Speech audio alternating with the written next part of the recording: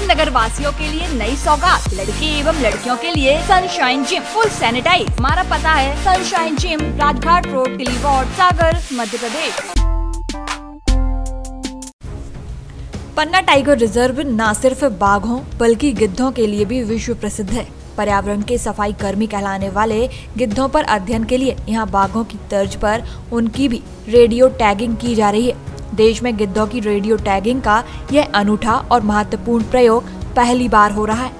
इसका उद्देश्य गिद्धों के रहवास, प्रवास के मार्ग और पन्ना लैंडस्केप में उनकी उपस्थिति की जानकारी जुटाना है। भविष्य में इनके बेहतर प्रबंधन में मदद मिल सके। गिद्धों की रेडियो टैगिंग का काम भारतीय वन्यजीव संस्थान, देहरादून से आए विशेषज्ञों की टीम की देखरेख में किया जा रहा है, जिसके अंतर्गत पन्ना टाइगर रिज़र्व में 25 गिद्धों को रेडियो टैगिंग किया जाएगा।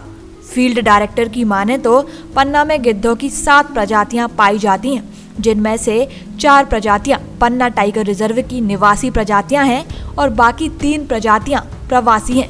रेडियो टैगिंग कार्य के लिए भारत सरकार से आवश्यक अनुमति प्राप्त हो चुकी है।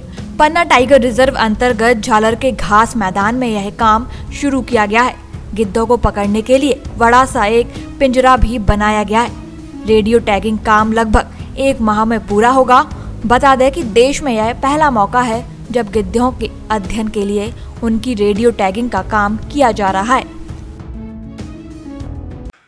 ये बड़े हर्ष की बात है कि पन्ना टाइगर रिज़र्व में गिद्धों की रेडियो टैगिंग का कार्य प्रारंभ कर, किया जा रहा है। जैसा आप लोग जानते हैं कि पन्ना टाइगर रिज़र्व में सात प्रकार के गिद्ध पाए जाते हैं। इसमें से चार यहाँ के रहवासी गिद्ध हैं और तीन माइग्रेटरी हैं, प्रवासी हैं, जो दूसरी जगहों से मौसम की अनुकूलता को देखते हुए यहाँ पर आते हैं।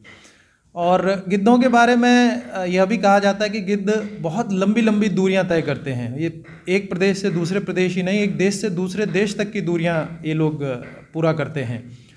तो इसी का अध्ययन करने के लिए कि गिद्ध कैसे रहते हैं पन्ना टाइगर रिज़र्व में और कहाँ से आ रहे हैं, कहाँ जा रहे हैं, उनके प्रवास के मार्ग क्या क्या हैं, इन सब चीज़ों का अध्ययन करने के लिए हम लोगों ने डब्ल्यू के साथ में wildlife institute of India Dehradun के साथ में, इन पर एक अध्ययन करने का प्रोग्राम बनाया है। इसकी भारत सरकार से अनुमति मिल भी चुकी है और भारत सरकार ने 25 गिद्धों को रेडियो टैग करने की अनुमति दी गई है। यह कार्य अभी हमने कुछ दिन पहले से ही प्रारंभ किया है। ये हमारे पन्ना टाइगर रिज़र्व के अंदर एक झालर का घास का मैदान है। वहाँ पर यह कार्य प्रारंभ किया गया है। और टैगिंग करने की एक विशेष तकनीक है। भारत में ये शायद पहली बार है कि वाइल्ड में इस गिद्धों की रेडियो टैगिंग की जा रही है। इसका कोई पूर्व में अनुभव नहीं है।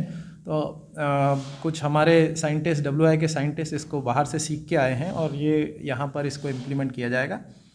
और इसके लिए लगभग एक माह का एक प्रोसेस है जो चलता है, जिसमें एक बड़ा सा पिंजड़ा बनाया जाता है। लोहे का एक पिंजड़ा बनाया गया है। वो पिंजड़ा लगभग एक से दो हफ़्ता हम लोग खाली घास के मैदान में रखते हैं। एक पिंजड़े में एंटर करने के लिए एक सामने से दरवाज़ा भी होता है, जिसको अभी उठा के रखा गया है। ताकि उसको दो हफ़्ते करीबन हम घास के मैदान में खाली रखेंगे, ताकि गिद्धों को यह लगे कि यह एक वहाँ की ही चीज़ है, एक नेचुरल चीज़ है। उसके बाद उसमें फिर बेट लगा के हम लोग गिद्धों को उसकी तरफ़ आकर्षित करते हैं। तो बेट, मांस के टुकड़े हम लोग डाल के पहले पिंजड़े के बाहर, फिर पिंजड़े के अंदर मांस के टुकड़े ला के उनको अंदर लाने का प्रयास करते हैं। तो ऐसा, ऐसी प्रक्रिया करीबन एक माह तक, लगभग तीन से चार हफ़्ते तक चलती है और गिद्ध जब आराम से उस पिंजड़े के अंदर मांस लेने के लिए आ जाते हैं, तब एक उचित मौका देखकर हम लोग उसका गेट बंद करके फिर गिद्धों को जाल से पकड़ के और उनकी रेडियो टैगिंग करने का कार्य किया जाता है। पन्ना से दीपक शर्मा, सागर टीवी न्यूज़। सागर नगर वासियों के लिए नई सौगात, लड़के एवं लड़कियों के लिए sunshine gym full sanitize 5000 square feet area के साथ सर्व सुविधा युक्त सभी प्रकार की अत्याधुनिक मशीनों के साथ लग्जरी व्यवस्थाएँ steam bath certified ladies and gents trainer diet canteen के साथ सागर में पहली बार सनशाइन जिम आपके समय अनुसार सुबह पाँच बजे से रात दस बजे तक। कभी भी हमारा पता है sunshine gym Rajghat road Piliwad Sagar, Madhya Pradesh.